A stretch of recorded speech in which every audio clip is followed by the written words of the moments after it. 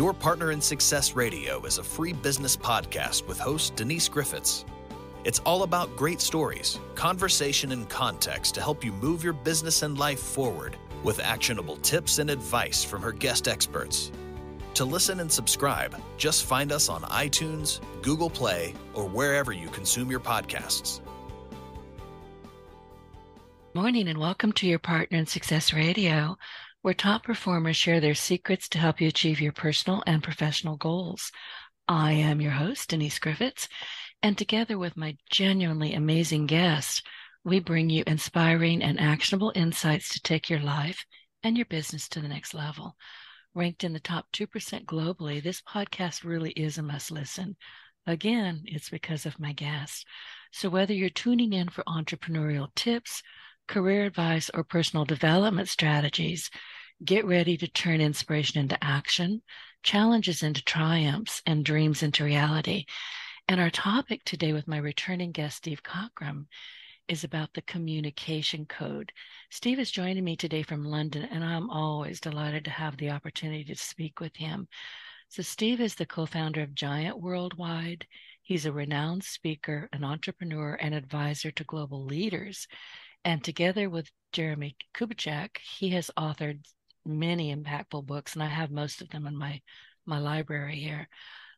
Like the one 100x leader, 100 times leaders, five voices and five gears. And their latest, Cracking the Communication Code, is very much a part of my entrepreneurial library.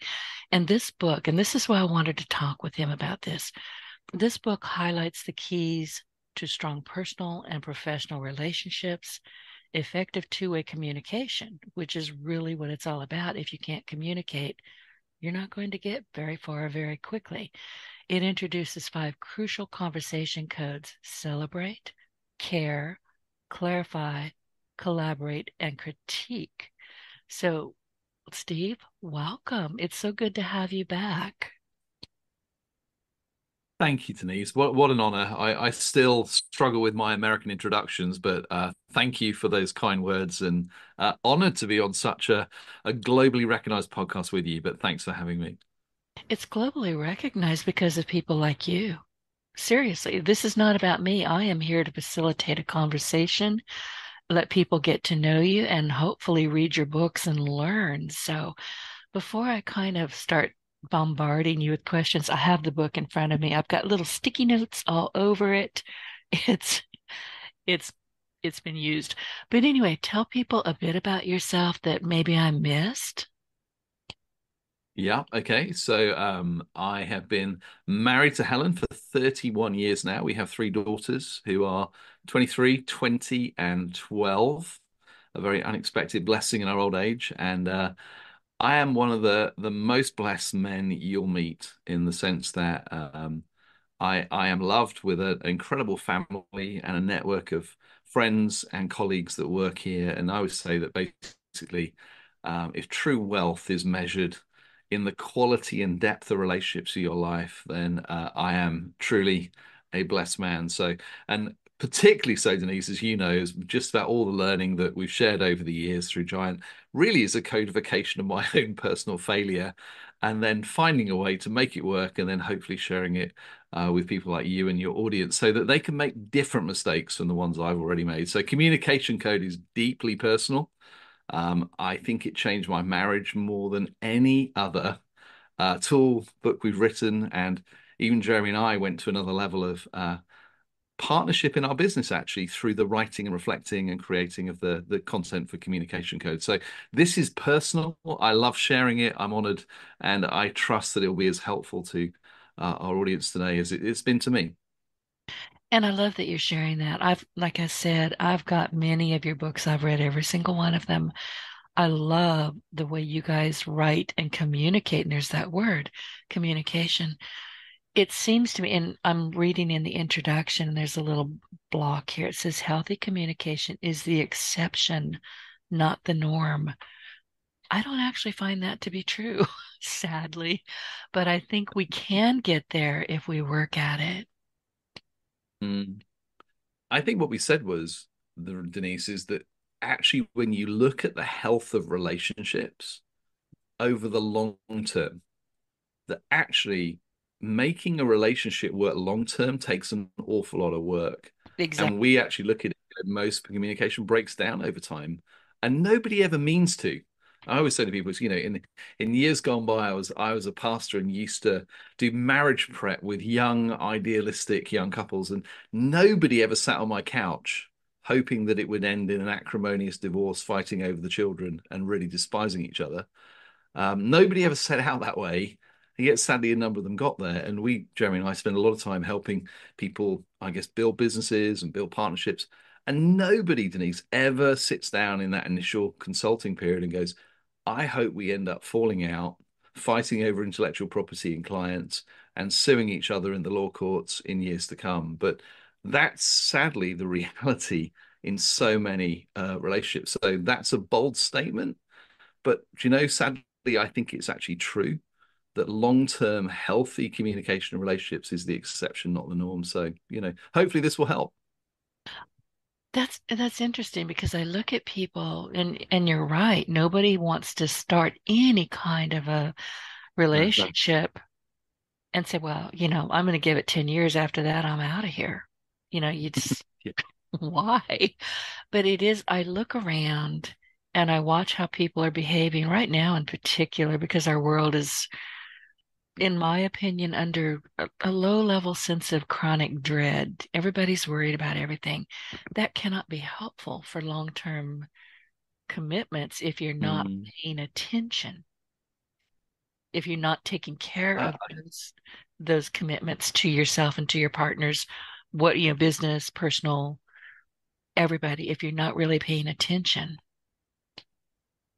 Yeah, no, no, I, I agree. I think I think the hardest thing and why it's so painful for people is a it's not what people hope would happen, and people try really hard to make relationships work.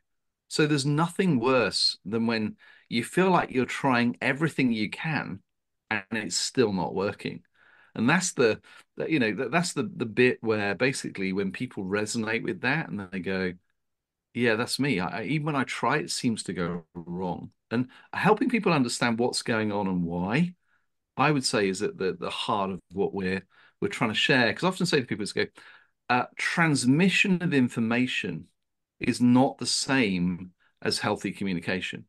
So just because I transmit words to you, whether that's verbally or in letters or email, whatever it might be, me transmitting information does not guarantee communication has taken place. What has to happen is the person receiving my transmission has to be able to understand the intent with which I shared those words and ultimately the expectations I have in how I would like them to respond.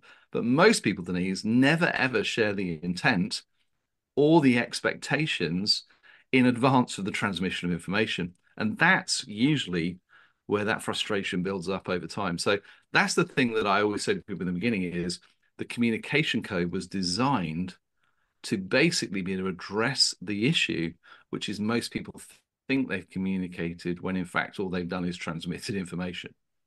And see, I never thought of it like that. And I think that's a brilliant way to describe it.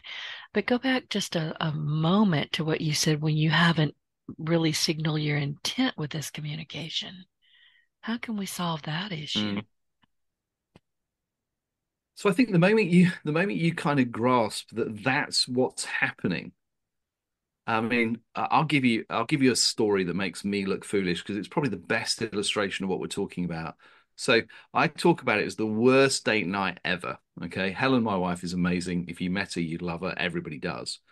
And I'm thinking, great, we're going out on a date night tonight. Helen is over there. She just said, Steve, I'm just exhausted. I'm weary. I'm, I'm just really struggling at the moment.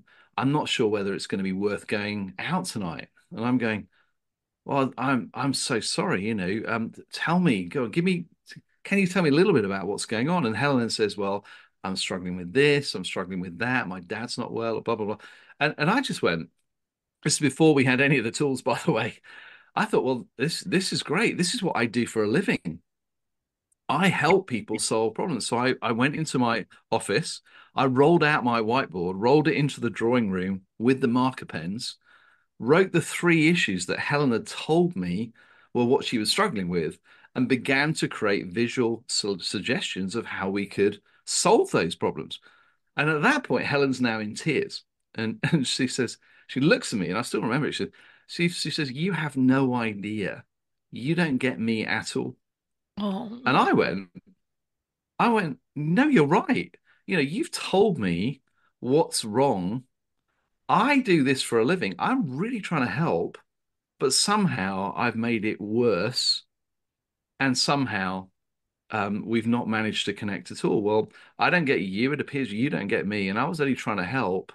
This didn't work. And I remember at the time just going like moments when I always say to people is you, you reach different stages in a relationship with communication. So sometimes we're the hope is we reach realistic expectations of communication.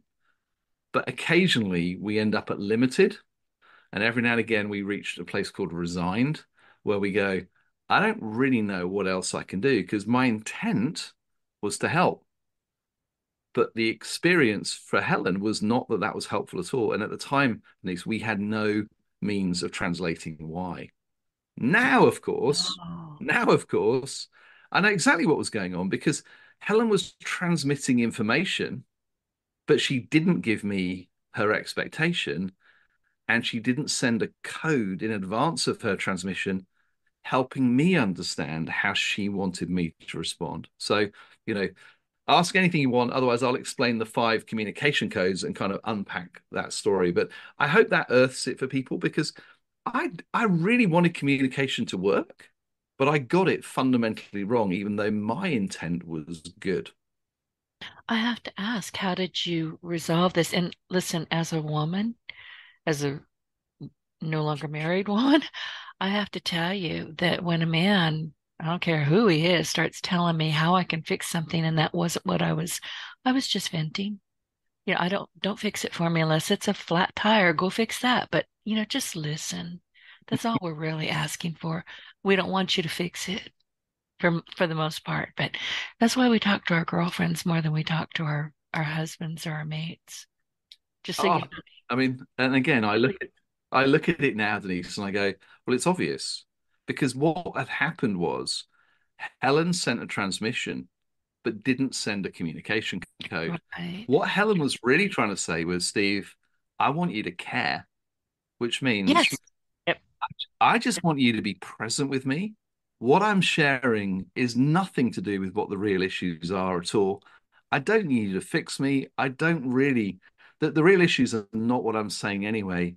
I just want to know that while I'm struggling, the person I love most is prepared to be present with me, physically, emotionally, intellectually, not try and solve me, and just be with me. Now, had You she said said so that much better time, than I did. I could not have expected it like that.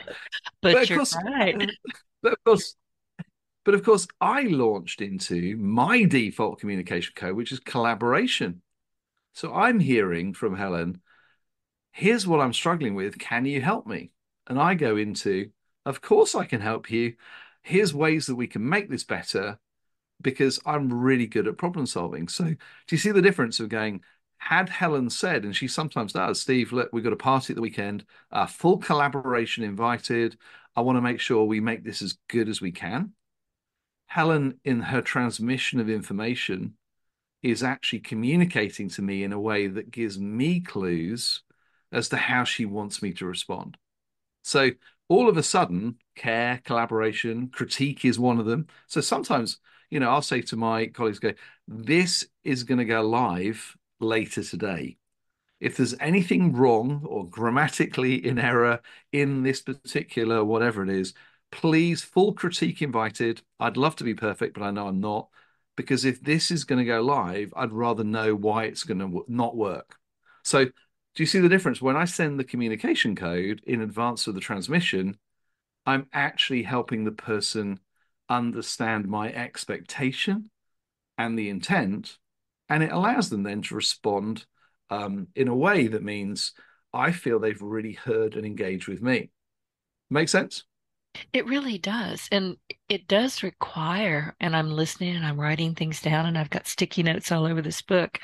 But it does require that before you open your mouth to put it in the deep south, before you open your mouth, sit down and shut up for a while. Well, in the in the beginning, Denise, yes, I would say so. I mean, most people, it's a bit like you, you suddenly become aware of your conscious incompetence. Ooh, Most people, most people are unconsciously incompetent at communication. We think we're better at it than we are, and because we usually end up hanging out with people who are like us. And when we hang out with people who are wired like us, we can be accidental, they're accidental, and no one minds. But when we're with people who are have different default codes than we do, if we are just accidental, we suddenly become incompetent very, very quickly. We just don't know why. And that's, you know, another example where the book came from. If you, the story there is Jeremie, Jeremie, my friend, is a very, very charismatic, entrepreneurial type character. And we sat in a coffee shop in where I live, and Jeremie's like, Steve, I can't wait to have this time with you. I've been working at this particular deal from my past for so long, and you know, it's a massive moment for me. I'm thrilled. This is what I've agreed. This is the deal. This is how we're going to be able to partner with him into the future. And I remember going, um, that's great. Uh, I can see you're really happy with it, but we don't normally agree commercial deals independently of each other. What about this? What about that? Why do we agree this? Is that the right margin? And Jeremie looked at me, Denise, with these kind of puppy dog eyes, and he said, That wasn't what I hoped would happen. and, and I went, Well, what were you hoping would happen? And he said, in all honesty, Steve, I'd hoped that the person who I'm closest to, worked with for seven years, was going to actually celebrate with me some really important milestone in my life. Maybe we're going to crack open a bottle of champagne, have lunch together, and probably not talk about a great deal else over the next hour or so together. And he said, Steve, you celebrated for about three nanoseconds, and then you launched into critique, or at least as he experienced it, of why this was a terrible deal. And I wished he hadn't been so incompetent in what he'd signed and agreed. So that's, believe it or not, Denise, that was the moment the genesis of the communication code was born. Because I said to Jeremie, well, if you told me that you wanted to celebrate with me over a bottle of champagne and lunch, I probably would have lasted a lot longer than I did. But you didn't give me any clues. So therefore, how how was I to know? So you see, by but I what really happened, I said, well, I was trying to collaborate. You wanted me to celebrate, but what you really experienced for me was critique. And critique, whenever it's experienced as criticism, isn't effective communication because critique only happens well when the person asks specifically for it. It turns out 50% of the population, Denise, by the way, have critique as one of their top two codes by default. So anyone who's a thinker or the rational, logical, analytical, which is 70% of men, by the way, will automatically have critique as part of their default code. That's why it goes wrong in a lot of relationships. Um, you know, because in a sense, it's a fundamental miss in expectation. Well, th- and that makes sense. So I have to ask you, I mean, this sounds like a pretty weighty conversation that you two had over lunch with no champagne. How did you get past it without stomping off and saying, I'm never talking to you again? because that's really, Denise, how most of the giant stuff have been created in the past. It was usually Jeremie and I struggling over something, but recognizing that we actually understood that each of us had different superpowers. So Jeremie voices a connector, I'm a pioneer. Um, but together we always create things that are better than one of us would have come up with on our own. So, of course, I'd been to Bletchley Park the week before for children's half term over here in in England, which is where the the code breakers were in Code the Second World. War. So, Right. Have you ever seen the Imitation Game and they cracked the Enigma code? And of course, I love history and you know, teaching was my previous career. And I said like just, hey, this may be something very similar as an analogy. You didn't send me the communication code. Therefore, I wasn't able to interpret your transmission. What if we could send a communication code like the Germans did for the day ahead of our transmission? Which would mean that the person receiving it could translate it and understand the intent and the expectations that lay behind it. So by the end of the day, we had all five critique, collaborate, care, celebrate, and clarify, and actually realized very quickly if we were consciously competent and actually sent the communication code in advance to the whole team, we actually dramatically changed people's perception of communication and health. Um, and honestly, I use it all the time. Even if somebody doesn't know the communication code, Denise, I'm conscious enough of my own, you know, frailties with my grenade launcher to actually sometimes I'll just ask and go, "Hey, before I respond, what what are you hoping happens here? Are you are you just want me to listen and be a, a good friend? Um, do you want to ask good questions to get out of you what it is you're really trying to say? Are you inviting me to make it better? Do you want me to tell you why it's not going to work? Or do you just want me to cheer open a bottle of champagne and run a parade because it's so awesome. So, I mean, that's an exaggeration, but it gives you an idea of going, I can ask in advance of response, even if they don't know the communication code, because everyone really knows what they hope happens. They just don't normally send it. They just send the words and then wonder why it doesn't go well. And honestly, uh, to me, and I love this part, I just scribbled all kinds of notes because I'm going to be writing an article about this because it's brilliant. And thank you and of course i'm going to reference you who taught me this but the thing is we don't often we're, we're so busy listening and then waiting for our turn to talk that we don't kind of mm-hmm. filter through what you just said what do you need from me how can i help do you need me to just sit and be quiet do you need me to mm. solve a problem for you do you need do you need me to go beat somebody mm. up oh what is it what do you need that, that's not an official communication code, but I like your thinking. Here's the thing: don't get you are a more advanced form of the species as a as an introvert anyway. You are wired to listen and only respond when you have something to say. I, however, am a less evolved form of Darwinian evolution, and I'm an extrovert who actually is really sometimes I'll get frustrated that you've taken so long to get it out. I'll finish your sentence just so I can keep talking. So if you think, you know, there's I'm that piece that. play as well. I'm picturing that with no champagne. Sorry, I'm stuck on that champagne. We can always do champagne. Do you know it's it's interesting. We've we've helped so many executive teams, by the way, are full of people who critique all the time because they're just very cerebral and clever. Every company we work with now, we we instigate a discipline of celebration. We do it in our homes, in our family. It Brits are terrible at it, by the way. We we we we celebrate when somebody dies and we say nice things about them at funerals. We've actually learned how to put celebration into the fabric even at the beginning of a team meeting. So, you know, every organization I know has problems. You know, it's we're dealing with human beings and variables. But it's amazing if you say, hey, before we launch into our agenda today, I want everyone to think of one thing that they're really proud of, excited about, what's gone really well in the last seven days. And just go around and everybody in the room actually goes, Hey, it was brilliant. We did this, you know, client demo, we did XYZ, we launched new software. Do you know, by the time everyone shared in the team, Denise, the celebration of what's gone really well, the moment you then move into, we usually ask the second question, which is, Hey, is there anyone got anything going on that needs specific uh, extra care today?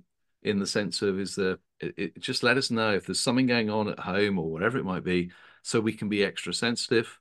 And then we move into the agenda of a meeting where we actually go, okay, what are we trying to work on? What are you asking for? Is this critique? Is it collaboration? Are we making decisions or is this process? But the communication code, literally, you can use anywhere. We do it for birthdays. Um, when anyone has a birthday, we will often gather kind of some of our extended family, particularly for the children, and part of the evening, we will celebrate them and tell them um, in front of everybody what we most love about them and the character issues that we most appreciate about them. It's amazing how for kids they get the hang of it and they become very American or un-British in the go, hey dad, can we do that celebration thing again? Because they've even taken it into school and they've taken it and done it with their friends on their birthdays when they've been out. So I've been very proud of that. But again, everything we built was designed for educated 13 year olds just so I could understand it. And just because it's simple doesn't mean it's simplistic. In fact, sometimes the simplest things are the hardest things to do because we know what we ought to do and we don't. So there you go. Discipline of celebration is something which, um, as a natural critiquer, I've actually seen the power of what happens when we learn to celebrate well. It's not all we do, we use them all, but it's amazing if you're listening to this and you're leading teams or organizations or families, learning to put the discipline of celebration into your rhythms actually will change the culture over time, probably more than anything else I know. It does. And I had to learn that on my own because, like you, I'm a critiquer. I don't mean to be, I don't much like that about myself, but it's one of my defaults. And I have to be careful with it. I have to sit down, stop, mm-hmm. think, don't say what you were just going to say. Yeah, I have to really work on that more than you would think.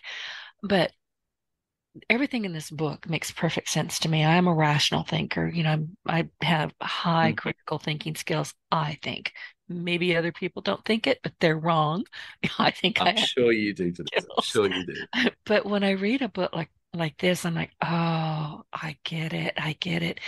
And one of the things that I wanted to ask you is why you believe so strongly that relational intelligence is the most critical factor in mm-hmm. leadership because we're talking about leadership.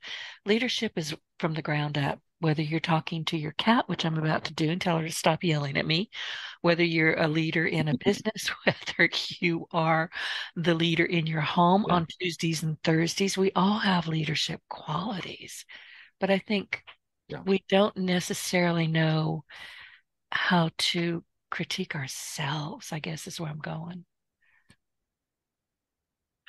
it's so relational intelligence is a phrase we've we've increasingly used because soft skills is the thing which people talk about. Again, no, it's not. It's not that. It's actually more important than anyone realizes. The reason being is we are really moving away from the age of the IQ. Now, hear that it's not that IQ is not important, but if you think of the the late industrial age, where really you know, we use people's big brains to process complex analysis and strategy. We're now living in a world where machine learning, AI, processes and computes data at speeds that our human brain has no way of ever competing with. And in a sense, therefore, the, the the Darwinian advantage in the industrial world of the rational, logical, analytical thinker actually is being replaced I believe in the new world where that's assumed, and that actually the we're now in the age where relational intelligence is probably more important than classic raw IQ, because the real question is not can you solve all the problems yourself, it's can you create a synergistic team environment where people are able to bring their complementary superpowers to the table where you can solve problems that no individual ever can. So leaders are having to learn not how to do all the the, how to do it themselves, they're having to learn how to empower and create environments where people of different ages with different worldviews and you know, all the differentiations that we know actually feel I can bring my best to this table. I promise you the ability to calibrate high support and high challenge for each person you lead is an art, not a science, because they change things go on in their lives, which means they're different at work today than they were yesterday. So you can't just learn a formula. Uh, you know, we teach a lot that says leaders in the digital world don't need a bigger library; they need a better toolkit.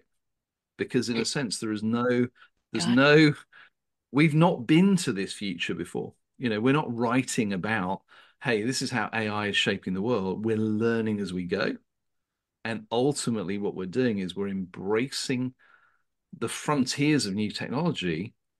But ultimately, as leaders, we're having to do that with different people and being able to connect and be relationally intelligent in the way we lead and lead through influence.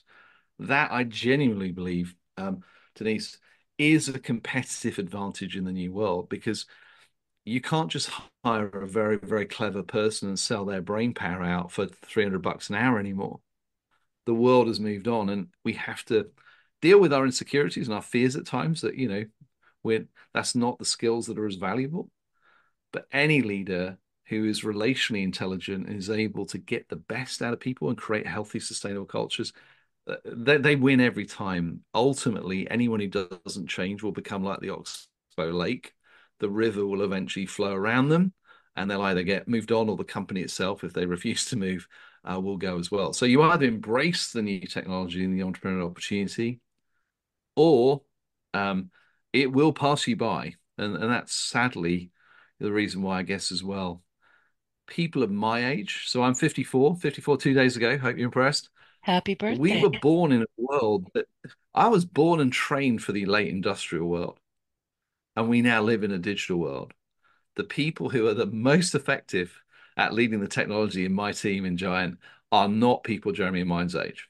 If I look at the new app they're building at the moment for Five Voices, it's actually the 20 somethings and the 30 somethings that are building it because that's they're they're a native to that world but they love our culture and they love being part of it and they want to be mentored and grown but we don't have to we don't have all the answers we actually have to be humble enough to realize that actually there is a, a digital native generation coming through who will always be better in the new world than I will be but they're desperate to be mentored and they're desperate to be invested in. And if you do that as a 54 year old, they'll follow you anywhere. So I love being, in many ways, a, a leader in the digital world, even though I'm at best in Harry Potter language a mudblood. And I'm never going to be a pureblood who's, who's known nothing else apart from the digital world. My kids, they're digital natives.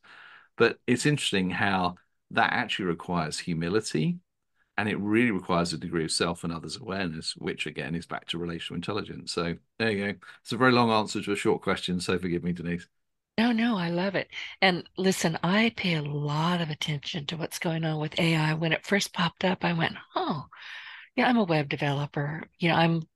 You know i'm always thinking i'm mm-hmm. always doing i'm always in front of a computer i love it and one of the reasons I love it, it's kind of simple actually, is that it forces me to think.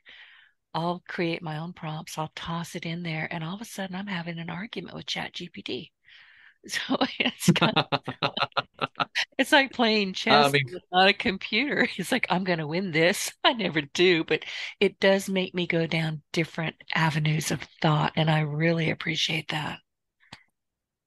Yeah, I mean, the one thing that if you look at history, whenever there is a technological revolution, and it happens like in West, you know, every couple of years, really, whether it's the printing press or the rotary steam engine or, you know, the internet and whatever it might be.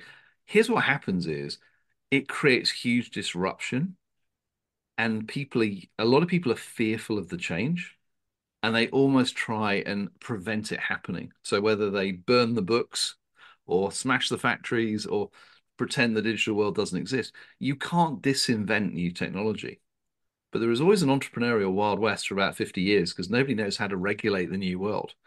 And then they start to level it up. But in the meantime, there's some incredible winners who see the opportunity, embrace with a little bit of fear and trepidation, but they own it and they lead it.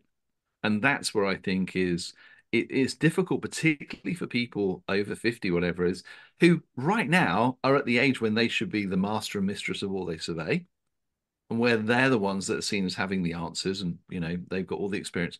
Well, here's the problem we don't.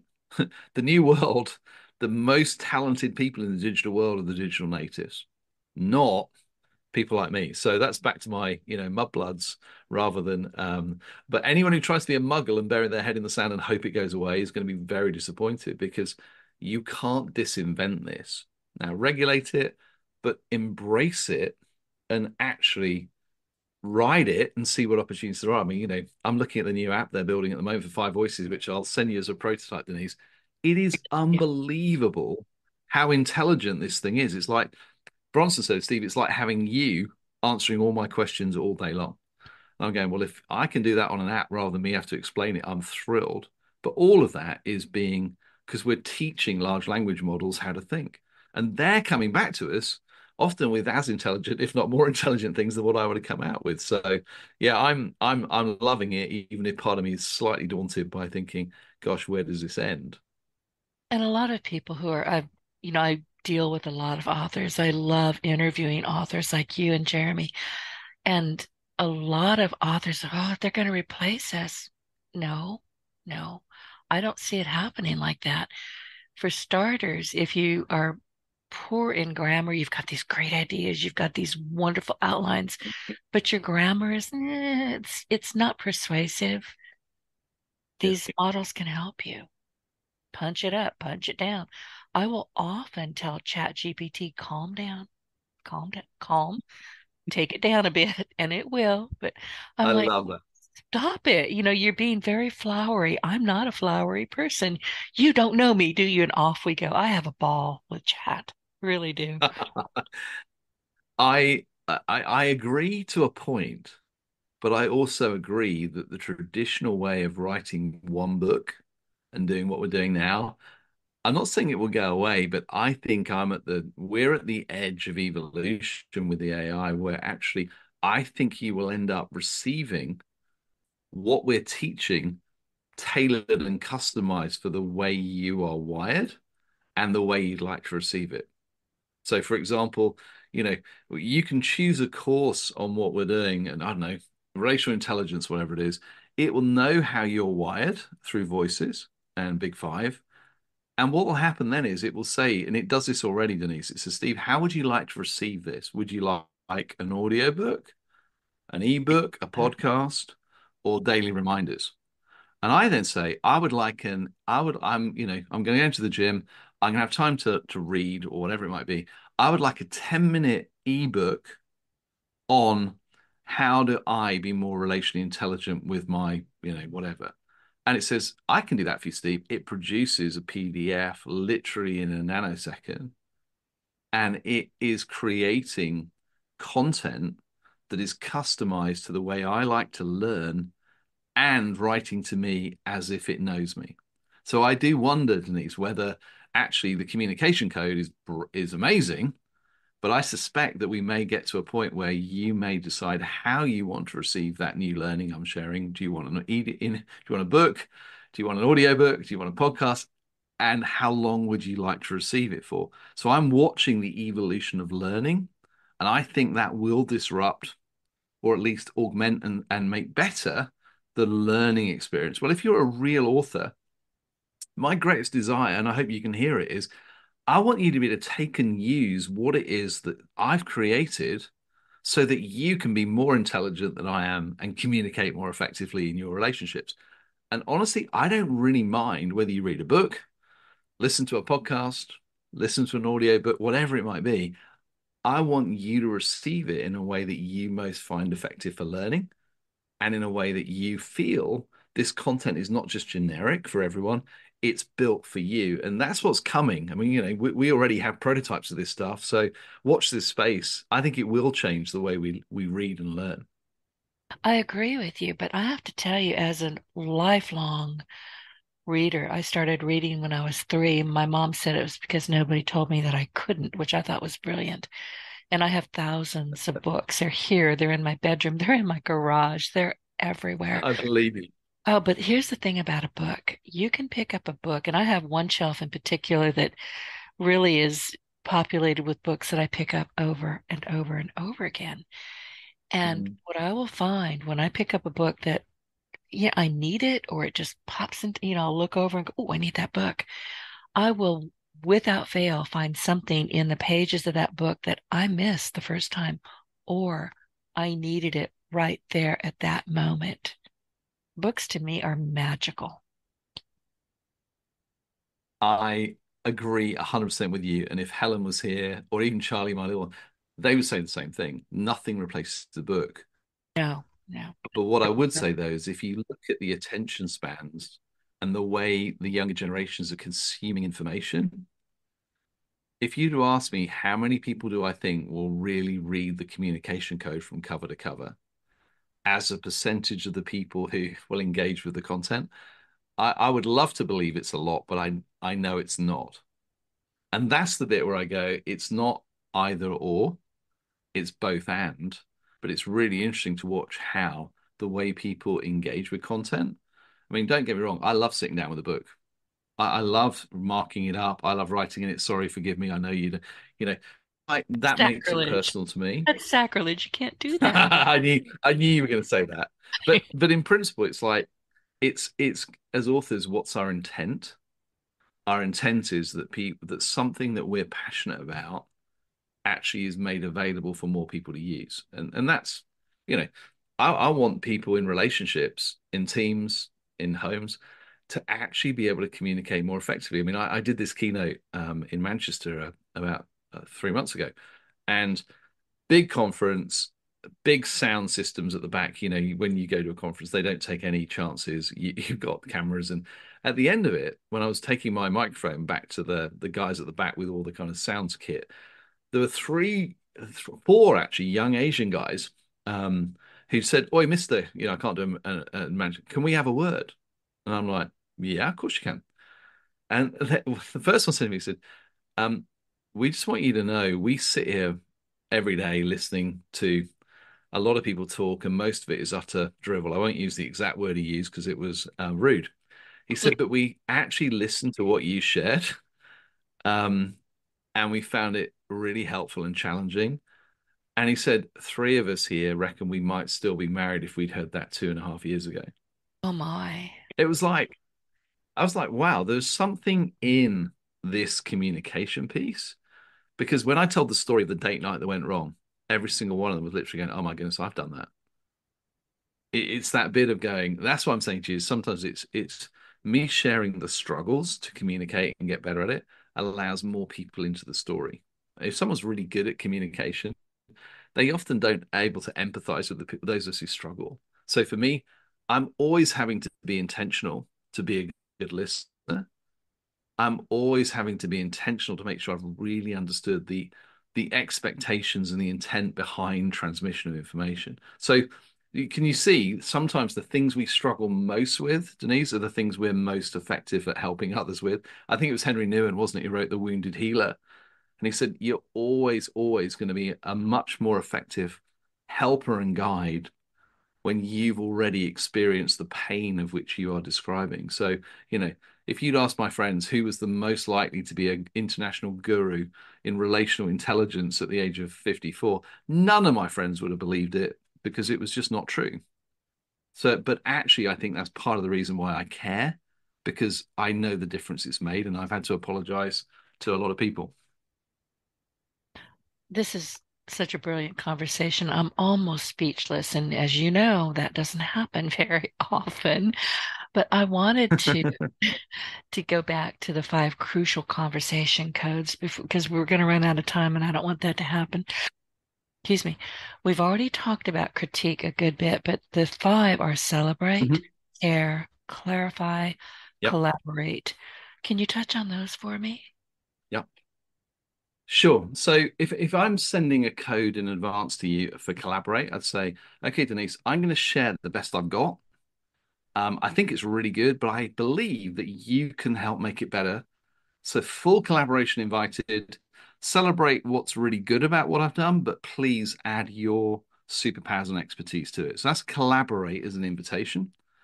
Clarify is when I might say to you, Denise, I know I've got something really important to share, but I don't think it's going to come out exactly as I want it to. So, please would you keep asking good clarifying questions until what I'm trying to say has actually come out.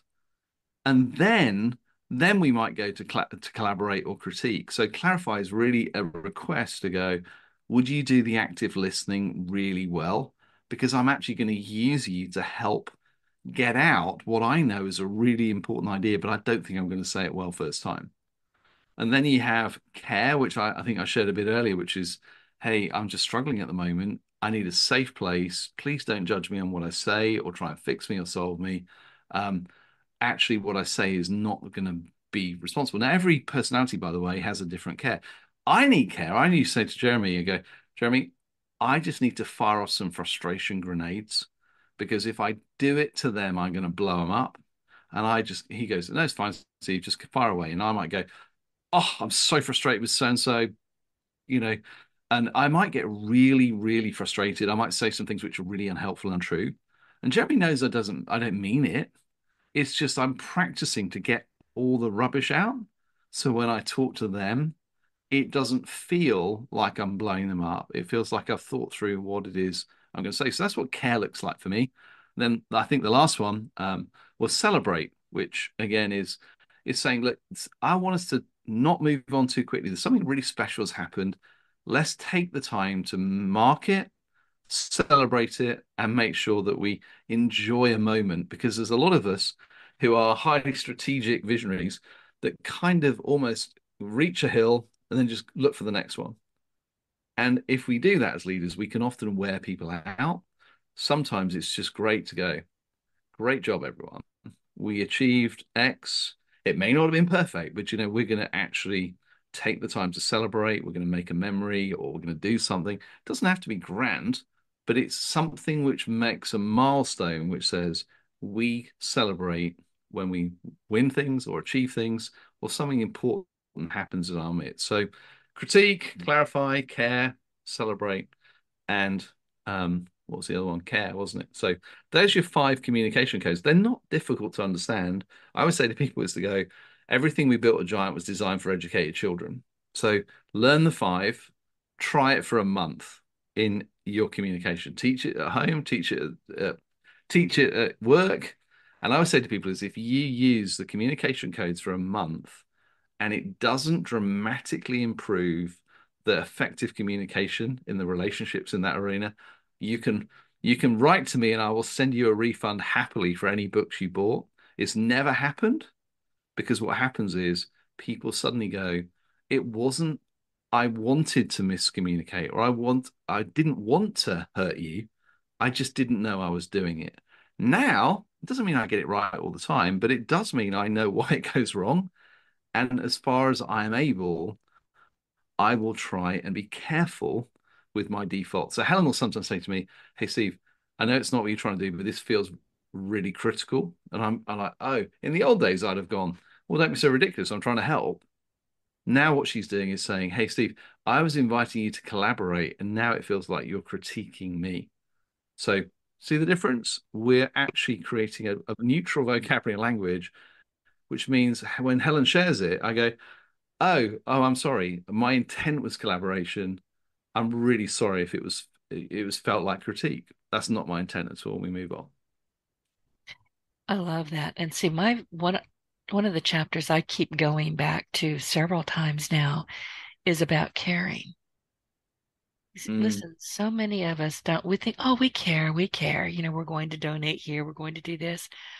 What mm-hmm. I have found is that if I think I'm caring about something, there's a bias somewhere deep inside me, and I'm not caring at all. I just want it to go away. yeah. Well, I think I think what we found, Denise, and we write quite a lot about this, was that actually the communication codes we use the way we've described, but they're also skill sets we can grow in.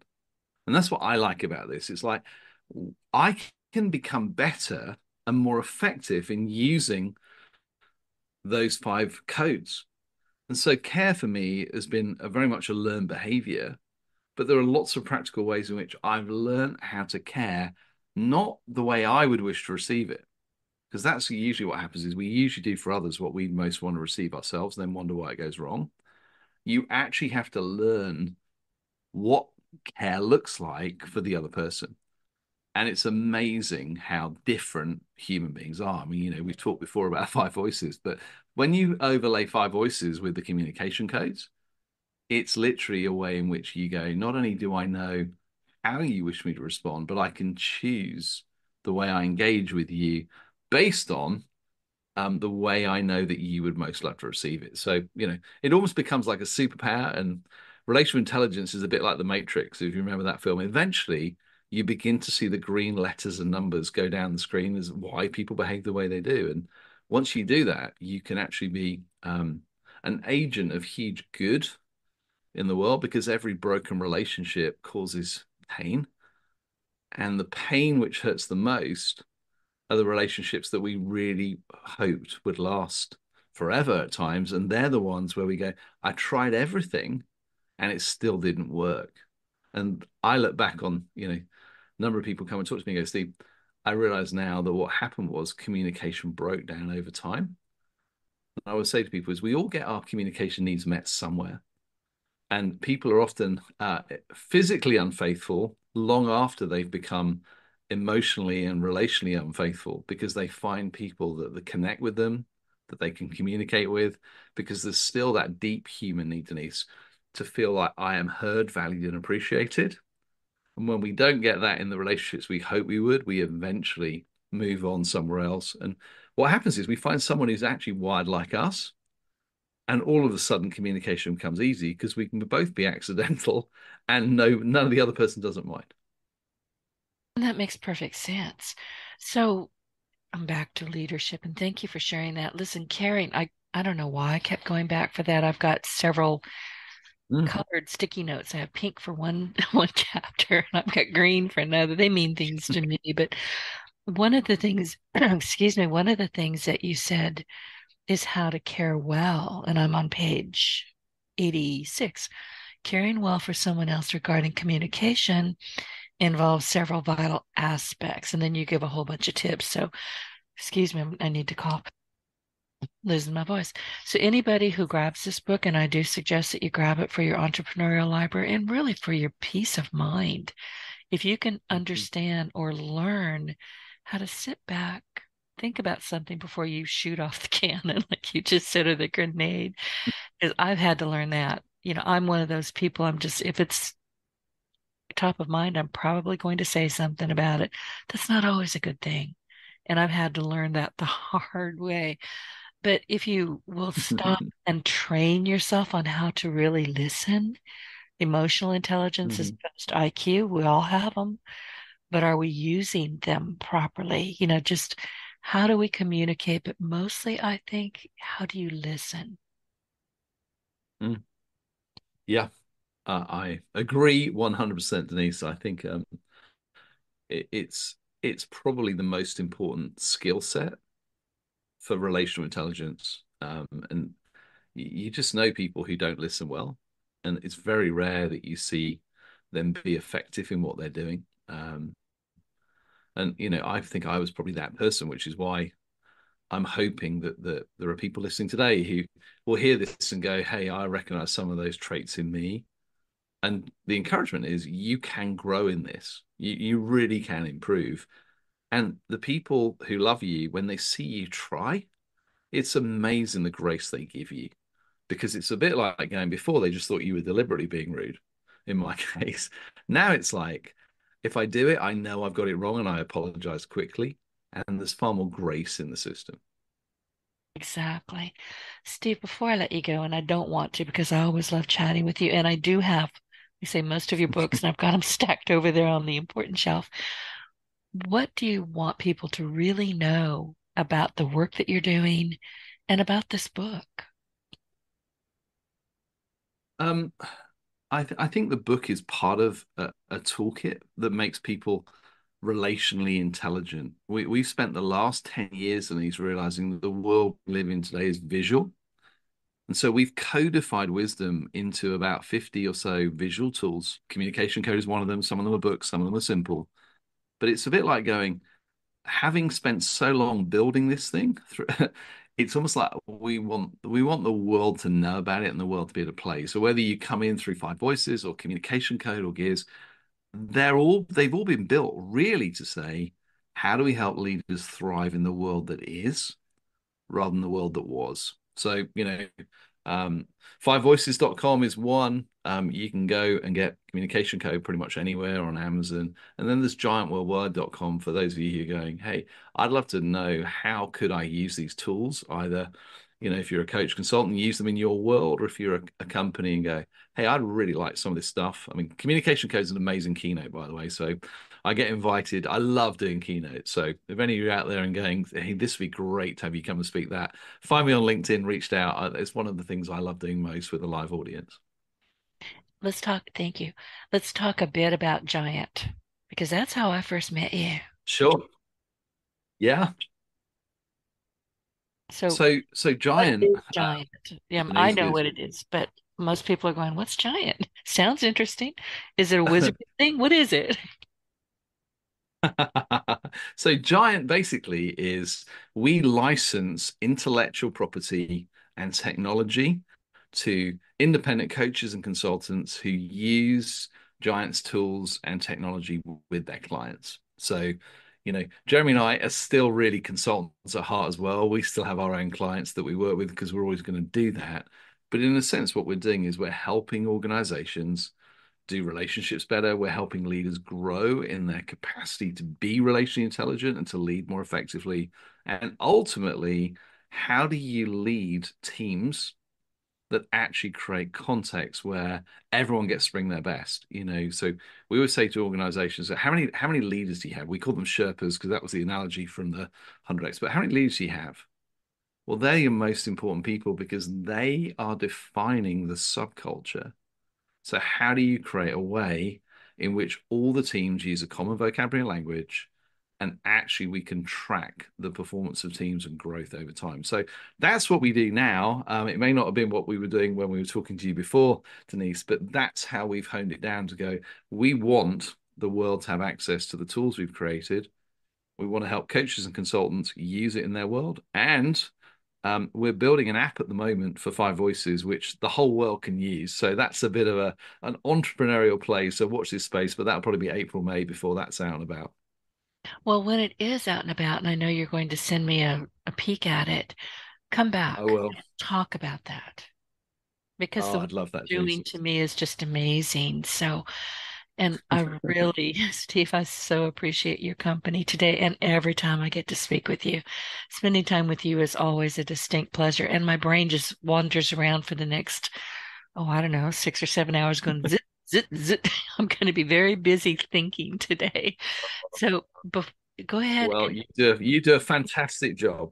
Oh, uh, it's you. it's it's always a pleasure, and I I hope some of the things we've been able to share today will be be helpful for um, your audience, and uh, I look forward to hearing from people. So if anyone ever reaches out on LinkedIn, I'll always I'll always reply uh, because I love it when people say, "Hey, I used it and it, it made a difference." So, but thank you for being an amazing host. I, I always love talking to you as well, and I, would happily come back when the new app's out and we can talk about that.